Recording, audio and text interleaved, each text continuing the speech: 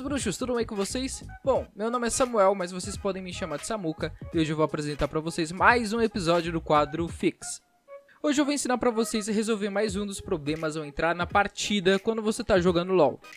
Nesse problema, fica um aviso de partida em andamento e quando você clica no botão reconectar, ele volta para a mesma tela, assim que você consiga realmente jogar o jogo. Eu encontrei duas soluções para esse problema. A primeira solução é com o modo de reparação do próprio jogo.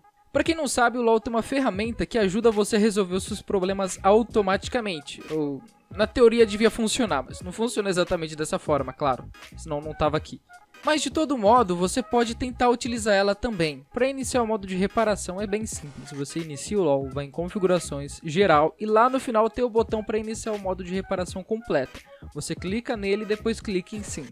Dessa forma vai iniciar o modo de reparação completa do seu jogo e assim deve resolver o seu problema. Mas se caso ainda assim o seu problema não for resolvido, você pode tentar utilizar a ferramenta Hextech. Ela é uma segunda ferramenta de reparos que a Riot preparou para League of Legends e que também pode te ajudar nesse seu problema aí. Mas se mesmo depois que você seguir esses passos, seu problema ainda estiver acontecendo, você pode deixar um comentário aqui embaixo que a comunidade do canal pode te ajudar.